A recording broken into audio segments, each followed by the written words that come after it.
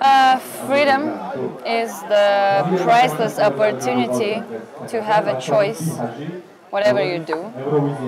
And um, our intellect is given for us to make this opportunity.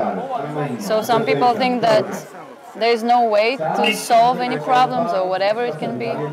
But there is always a way, there is always a choice to make it better or to make it in the way you particularly want. So freedom is the opportunity to have a choice.